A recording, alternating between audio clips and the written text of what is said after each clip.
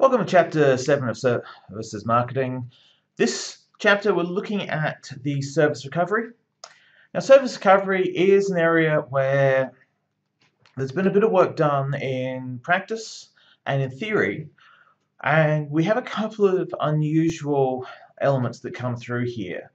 Now the first of these that I want to draw your attention to is the idea of the service recovery invoking a delight response from a customer after what was going to be outside of the zone of tolerance is retrieved and recovered and this brings back a stronger, more positive response.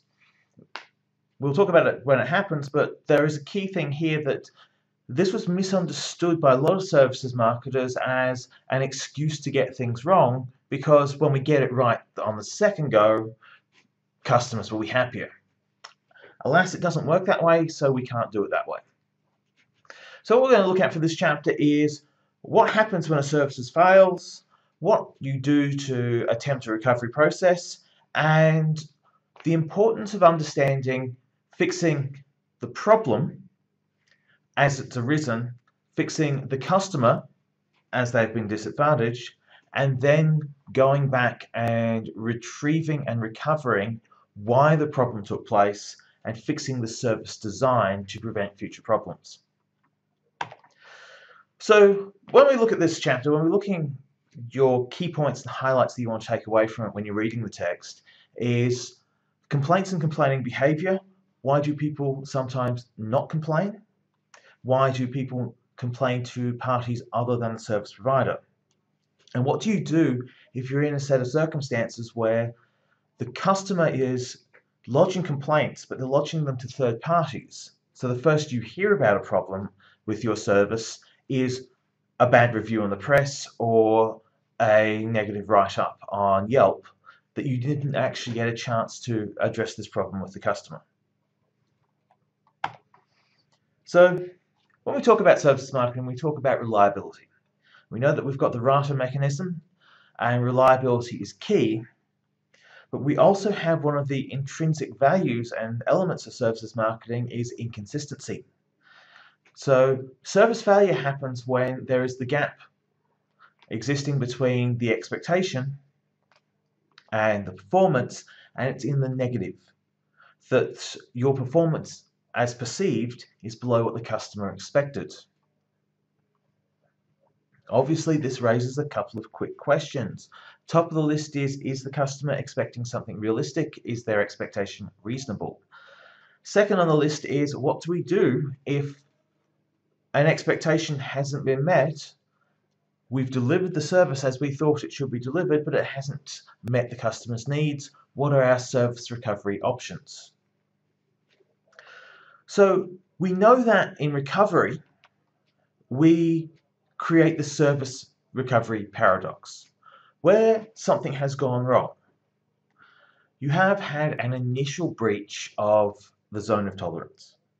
What was expected was below, what was perceived was below what was expected.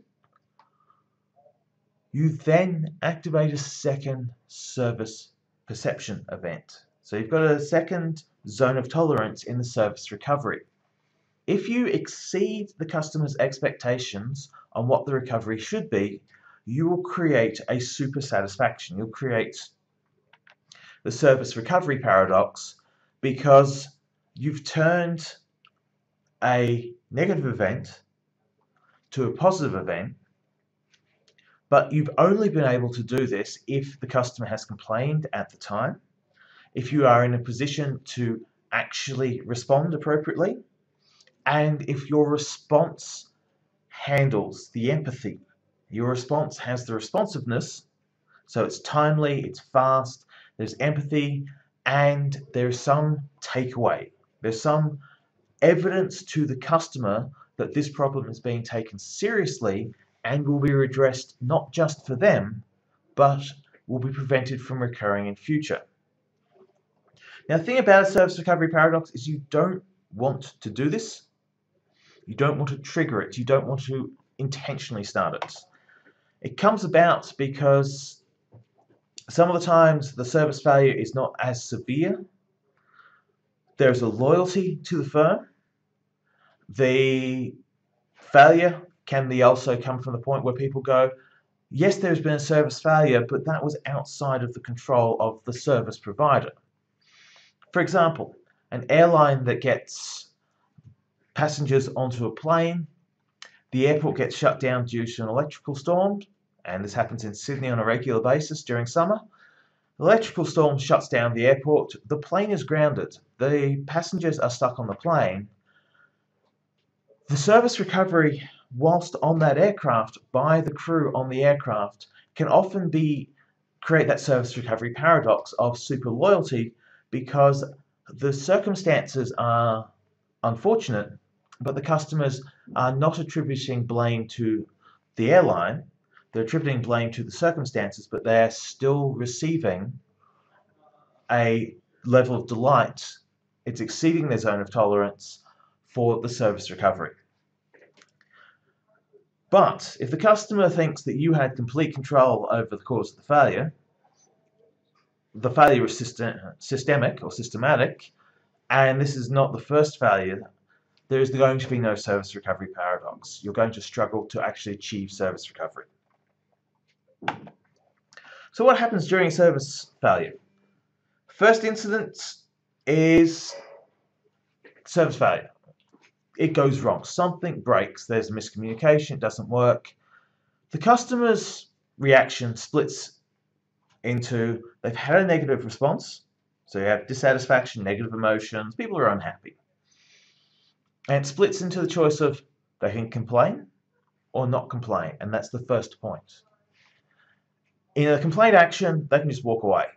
So you've gone, you've queued up, the person in front of you is taking forever to make their order, you can go, no, it's nothing I can say, there's nothing I can do, but I'm out. And you walk away, it's an exit. Or you can go, look, I'll just ride, doesn't matter, I'll ride it out, stay. Alternatively, you can go to the complaint action. So you've gone to a restaurant, you've ordered your meal, your meal's taken forever to come out. Your meal has had something wrong with it. It's kind of, it's been delayed, it's come out cold.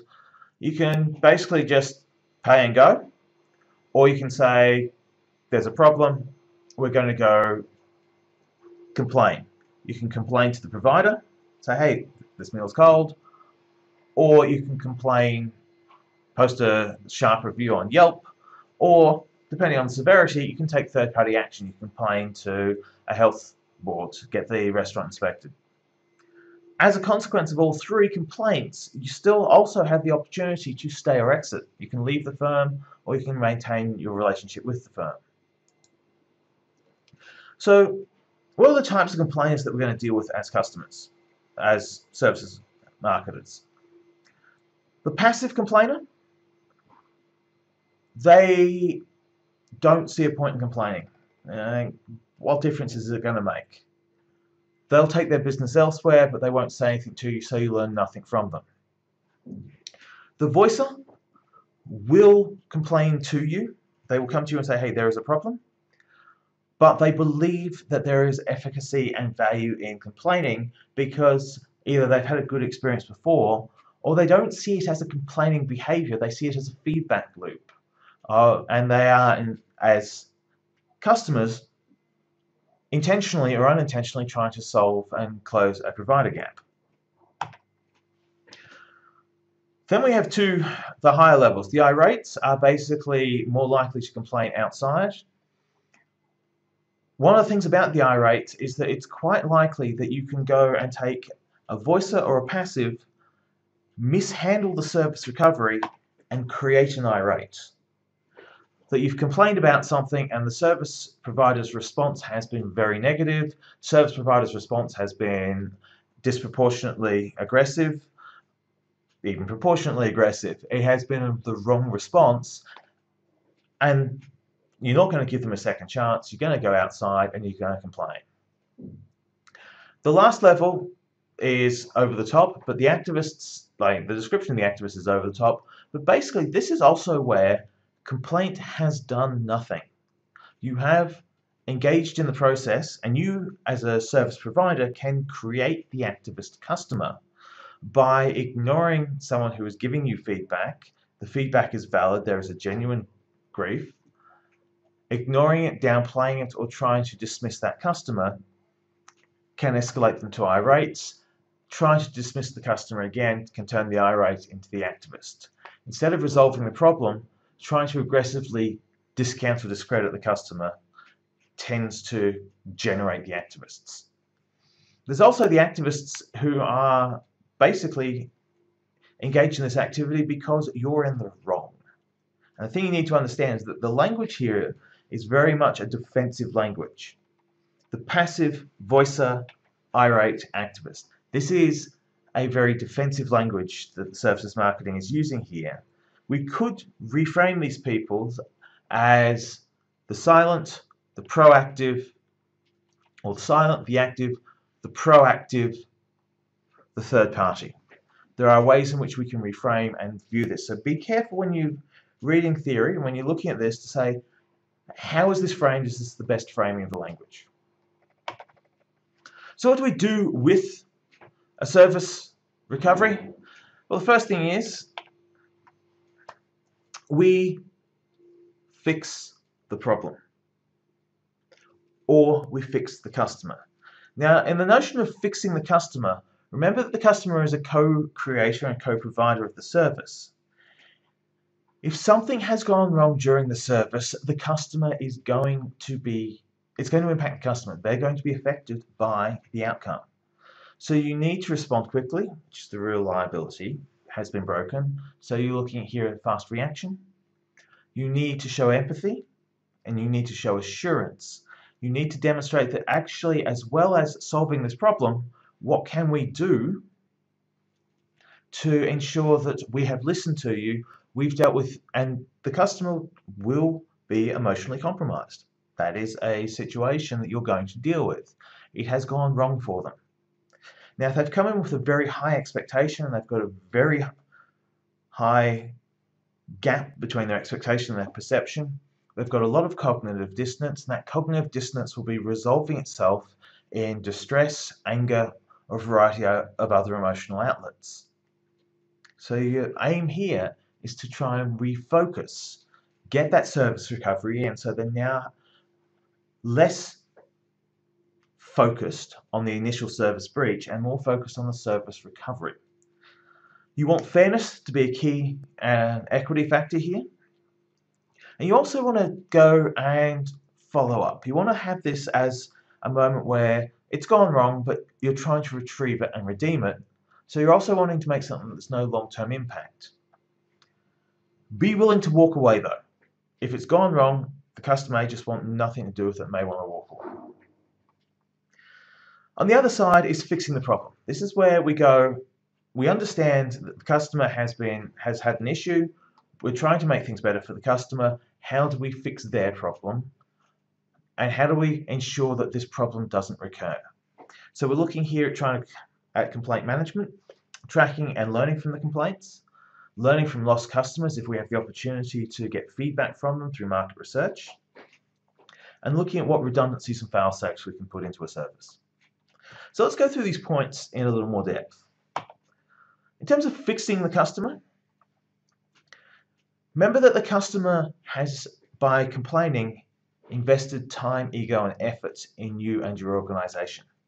They have gone and said, This is important to me to let you know what's happening.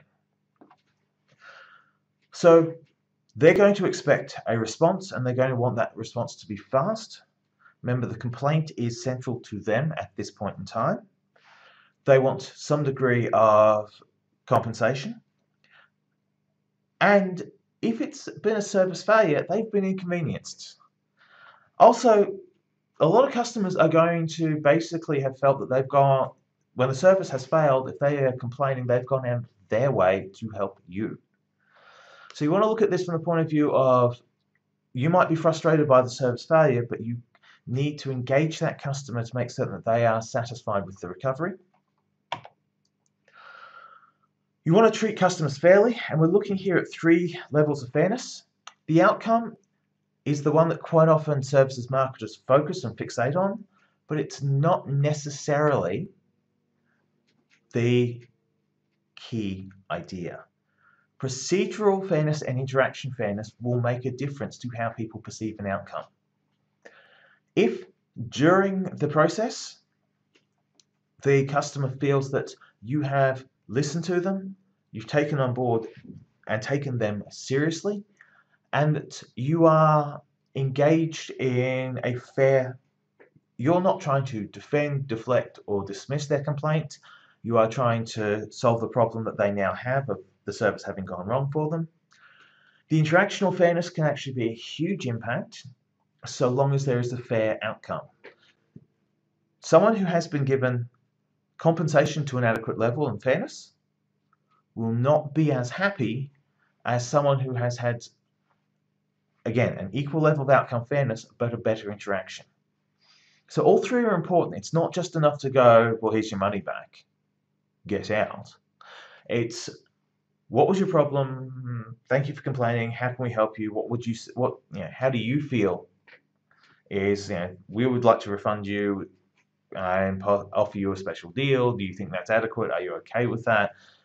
So long as we basically engage with the customer, it is effectively another selling moment. This time what we're selling is the importance of our relationship with that customer to that customer. And they're going to be a hard audience. So once we've recovered the customer, we've sorted the problem out for the customer, part of what will be seen as fairness and procedural fairness is fixing the underlying problem. If you slip, you know, you have a slip and a fall in a supermarket because something was spilt on the ground, there are a lot of procedural elements that will be uh, addressed. One of them is going to be if you've gone, you know, you've walked down the aisle, you've slipped on a spilt sugar bag, you walk back, you know, you fill out your uh, paperwork that you've been compensated, you've been given your coupon for discount at the checkout, you walk back down the aisle and the, still, the spill's still there, it's still dangerous, you're not going to feel that the problem was solved. You're going to feel that you were dismissed and the procedural elements will fall and will falter and the interactional elements will falter. So you want to fix the problem because the first thing is, if there's been a services problem, it could be a systemic error. We have these quite a bit in any course, and one of the things I really appreciate from my students is when you send me an email saying, can you clarify, or asking detail about an assessment task says to me, there is an error in how I've presented the information that I can then fix. So when you share your feedback and your questions with me, it helps me improve the situation for everyone. So fixing the problem, learning. We can offer things such as the service guarantees, and I'll note that the key thing in all of the uh, a service guarantee is in a physical goods guarantee, we can give you another good. We can swap your phone for another phone. We can swap a book for a book. In a service, we can't swap a massage for a massage. It's like, well, look, I know you oh, you came in for a massage and we dislocated your shoulder, but we'll give you another massage for free. You're not necessarily going to be quickly lining up to and make use of your free, possibly injurious causing massage. So what is it we can actually guarantee? We're trying to express an assurance that we will fulfill the conditions of the service. So what makes a good service guarantee? The first thing is it's got to be unconditional. It has to be a the customer is satisfied or there is a failure of the service. It needs to be something that the customer understands whether in fact you know, the guarantee should be invoked. Remembering that the service needs, if you're guaranteeing a portion of a service or part of a service, the customer needs to know what the boundaries are of that guarantee, and the employees need to know what they're supposed to do. It has to be easy to invoke. You can't make it, Uh, for it to be an effective guarantee, it can't be an esoteric, difficult process. It can't be log a complaint through 35 different stages, hoping to exhaust the customer before the customer gets to the complaint. To, and in that case, if your service guarantee is too complicated, you've created a second service failure that will compound the customer's annoyance and anger. And last thing is, it's got to be meaningful. Guarantee that a service guarantee of you're going to guarantee on-time delivery. It's fixed. The it's fixed or it's free. Guaranteed 25 minutes or it's free. On the airport, at the airport, by the flight time, or we buy you another flight. Those are meaningful guarantees. If it the main guarantee was we'll deliver you to the airport, and if we miss if you miss your flight because of our driving, you get five dollars off. It's not meaningful. It's got to be contextual. It's got to be relevant to the problem that was created. So the service guarantee does some beneficial things, and they are a key point of this uh, conversation and this chapter. So I want you to have a bit of a look around them.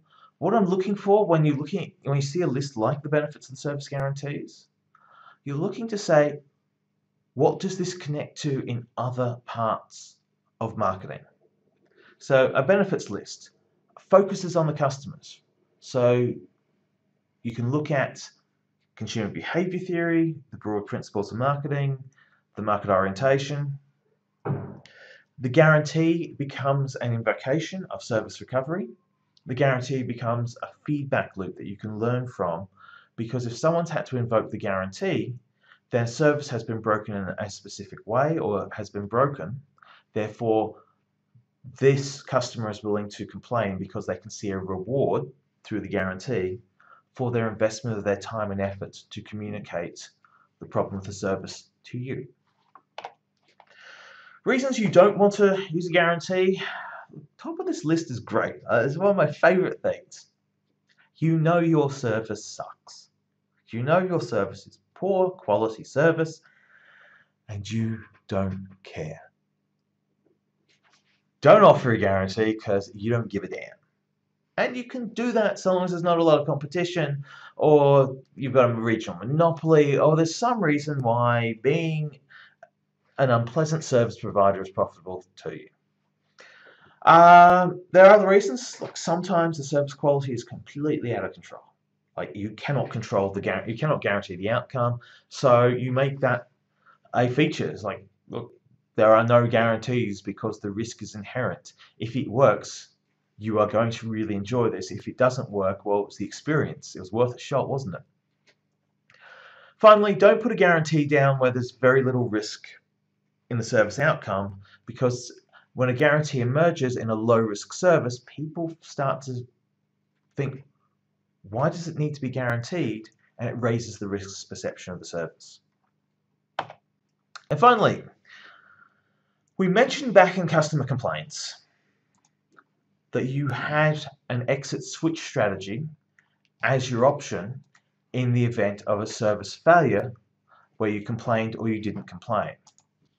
So what leads to service switching and perceptions of service failure are these component parts of price, where you and you'll note deception, unfair is an equity issue. Inconvenience, the service is not is expensive from a time, effort, or energy. Something goes wrong in the core service, you get billed incorrectly. Normally, you get a service failure comes about through you are billed more than you should be. But you can also have a service failure in reverse where you are undercharged. And I can actually speak from personal experience of I was undercharged due to a, in a billing process so even if I wanted to pay the proper price to get access my full service, I was unable to do that until the service failure was rectified. So I could have been locked out of the service that I was trying to pay good money for because the billing system wasn't working. A service encounter failure is another reason, and this is the interpersonal. This is why people are such a critical part. You can go to a, you can be having a great experience with a service provider's products, and then have a bad experience with upon the, the customers or staff and at that point in time go no I'm out doesn't matter how good that coffee is I'm not going back there that I'm not dealing with that barista again the other side of the column here response to service failure so obviously if your service has failed and you have had a poor response and you've gone there as a customer it's been a poor uh, sense of satisfaction, you shop around and go somewhere else. Competition. you may actually find the relative benefit of a different service provider beats the benefits you're currently getting. So there's a relative advantage, and you leave because and you're not leaving because the service provider's done anything wrong. A different service provider has done something better. So that's competition's challenge. Lastly, the ethics and the involuntary. The involuntary switching is that the service provider closes. And this is one of the ethicality, the ethicalities of pricing, where you don't price your service at a sufficiently high level so you're unable to maintain your service so you actually end up shutting down and not solving the problems that you'd previously been dealing with for your customers. So you're, you're underpriced and it was an unethical behavior because you're no longer in the market to solve the problems for this group of customers. The last point, the ethical problems, if it's lying, cheating, stealing, hard sells, the service is unsafe, there are conflicts of interest, there are a lot of reasons here. So you want good service to be ethical service and ethical service to be thought of inherently as good service because ethics matter. It's an interpersonal dynamic, it's an interpersonal relationship, and it matters when you are dealing in services marketing because you're dealing with people and you're dealing with people as individuals. You may work for a firm, you may work under a banner and a brand, but you are still a person. So your service encounter and the service encounter failures and the ethics issues are all people led and people driven. So that's basically it for this chapter. It's a mid-length chapter. It is one of the key sets of ideas, the service recovery. So I'm going to ask you to really pay attention to this chapter, particularly around fixing the problem. So the service recovery strategies, we want to look at, I want you to self-direct your study to the fixing the problem section because I want you to be looking when you're looking at that section, I want you to have a copy of the gap model with you. So print out a copy of the gap model, have a photocopy of it, whatever, and look at the service fixing the problem say, well, which of these gaps do I need to close in order to do service recovery to fix the problem? And that's a wrap for this chapter. As always, if you need me, at Stephen Dann, stephen.dann at anu.edu. If you need to come and see me, book a time uh, across the Wattle site. And one of the things I will say is that asking me questions and sending me emails and querying content isn't actually a service failure, it's a service, I, I regard that as you co-creating part of this service as well, in that the two-way interaction, the conversation that you give me and the questions you ask me, let me develop additional materials or additional ideas or different ways of presenting the material to you to enhance the experience for both of us. So please, if there is anything you need to know, feel free to ask.